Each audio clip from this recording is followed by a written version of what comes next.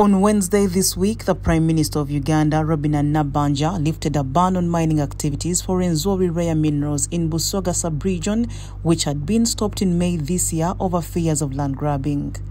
Today, a delegation of leaders from Busoga Kingdom and Busoga Consortium have held a meeting with government stakeholders on Rwenzori rare metals in Busoga to find a way forward on grievances of the project affected persons. The Deputy Prime Minister of Busoga, Osman Noah Muhammadi, noted that the kingdom has been monitoring events keenly on the project to extract the valuable rare earth minerals which were discovered in the districts of Mayuge, Bugweri, and Bugiri to see how the people of Busoga will benefit. As an institution, we are the custodians of Busoga's culture, norms and heritage, obuwangwa ennono n'obukombe obw'obugagga bwa Busoga.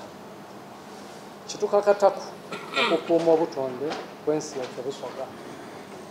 At the same time, we complement government programs for the socio-economic transformation of our people, and development through majorly advocacy and mobilization, plus possible through tangible projects like providing scholarships and skilling our people, among other programs that improve the livelihoods of our people.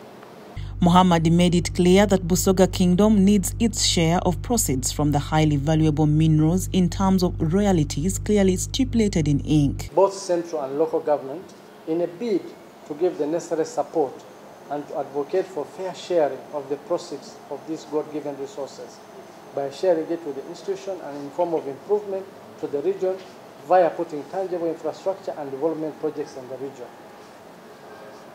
Permit me now to emphasize that His Majesty and our team will be heavily relying on the Busoga Consortium for development.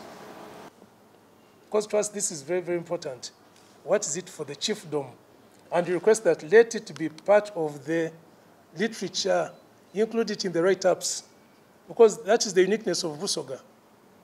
Let's not disregard, because if we do, then there is a problem of people feeling alienated. And when they feel alienated, they can do and say anything. I'm not making a threat, but I'm simply, I'm simply, I'm simply making the point. The moment you feel alienated, you can do and say anything. The chief government valuer assured officials from Busoga Kingdom that the government is set to carry out compensation to the affected persons in the districts of Bugweri, Mayuge and Bugiri where rare earth minerals have been discovered. He has directed three districts to obtain the updated district compensation rates to facilitate smooth valuation of land and fair compensation of the project affected persons. The land of a particular project affected person, we shall have a variety of things. There may be permanent houses, there may be semi-permanent or temporary structures, there may be build, you know, uh, uh, crops, both permanent and, uh, and seasonal. There may be other developments. We don't rule out even graves. Graves we, we normally find there.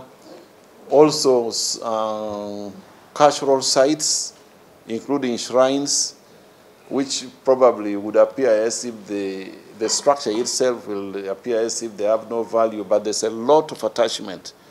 And these are all situations we put into consideration. Over 7.64 billion US dollars is expected as revenue from the mining of high valuable rare earth minerals in the 27 year project period. Report by Fred Kajubi for the news.